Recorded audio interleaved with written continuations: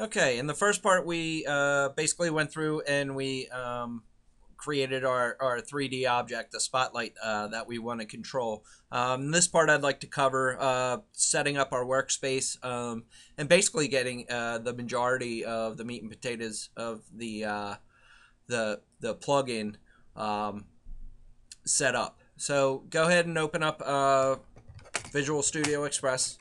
Um, and create a new project. Um, we need to create a WPF application. We are actually, it's not going to end up being an application. It's going to end up being a DLL file. Uh, but that's basically what we have to set up uh, to get things going. Uh, so go ahead and give it a name. Uh, let's call it Spot. Um, click OK. And it will create our application here. Now, the first thing we need to do is go ahead and save this so that we can change some stuff.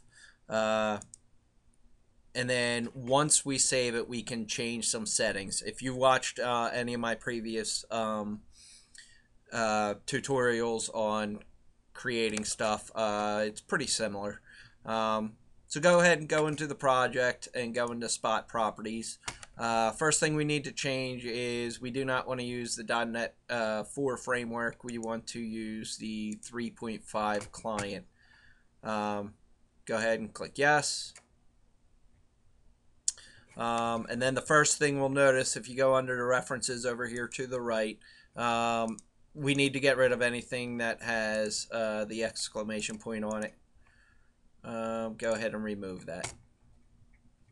Um, while we're in references, uh, the only reference we are going to need to add um, is uh, the object DLL. Uh, that will be found in uh, the sequencer uh, sequencer suite uh, that you downloaded. Um, easy for me to say, right? Um, so go ahead and browse for that. Um, I actually have it in, let's cancel here and try that again. Um, wherever you put it uh, in your VIX, it's probably in your Vixen um, folder. Uh, if you go to add-ins and in the object suite sequencer is the object lib.dll. Click OK um, then highlight that and copy local we want to set to false. Now at this point, uh, go ahead and save. Um, we're going to save often, as I always say to do. Um, as I said before, we are not going to be creating an application, and this is what it's trying to do. We need to create a DLL.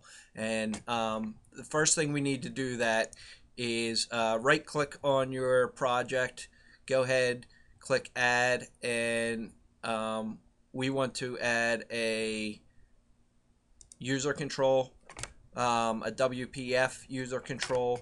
Um, you can go ahead and name this spot also. Um, click add.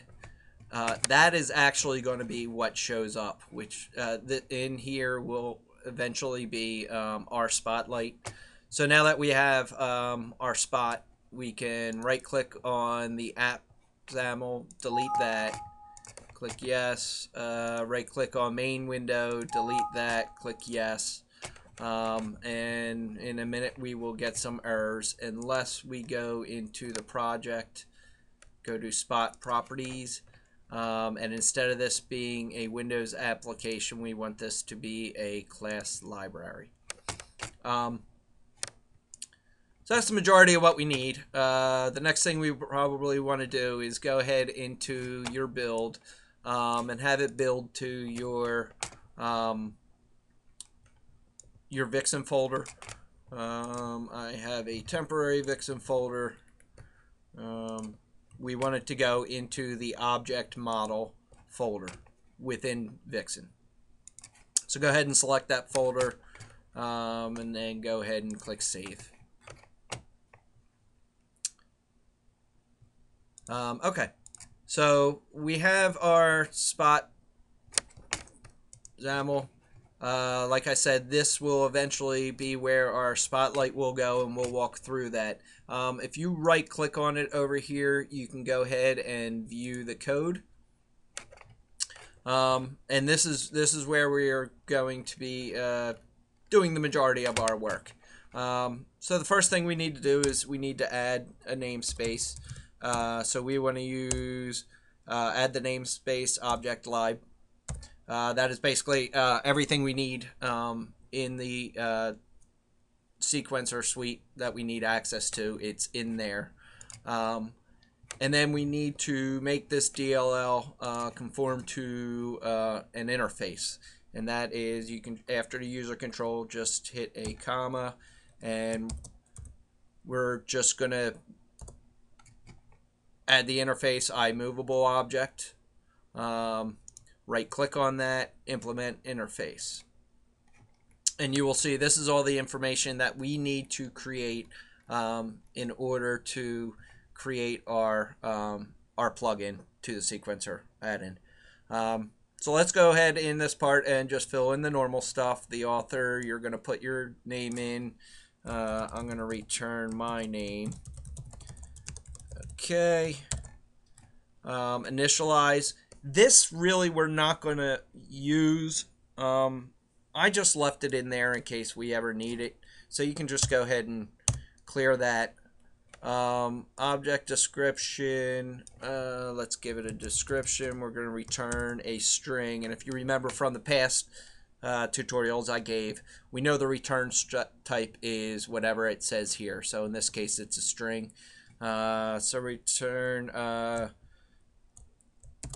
uh, spotlight. Okay. Um, the object name.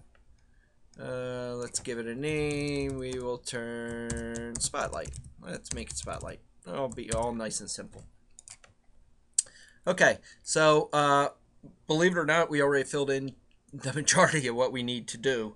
Um, so let's just start let's go ahead and save this and let me explain exactly what is going on in, in this add-in number one we will be copying uh, that 3d model into this area um, and then in our uh, in the code part what we are going to do is we are going to have to define what kind of controls we need um, in this case, we probably want to uh, be able to rotate it horizontally to the left, to the right, and we probably also want to do it vertically, uh, straight up and straight down. Um, so what we'll do is we'll make a list of controls, and all of that is tossed uh, using this update settings.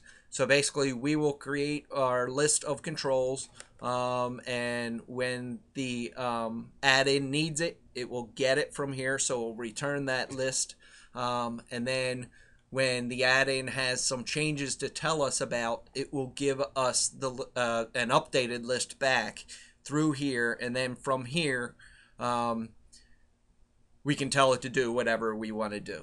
Um, but that's just a brief description of all we have to do. Um, but for this part, I think we're good. We've got our basic uh, setup done. Um, so let's pause it here, and then in the next part, uh, we'll we'll bring in our um, our 3D object.